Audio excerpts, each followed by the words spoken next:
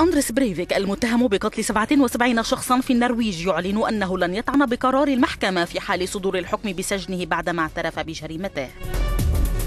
المنقذ الوحيد لبريفيك من هذه القضية يبقى في إثبات أنه مختل عقليا على الرغم من إعلان الطبيب المشرف أنه بصحة جيدة.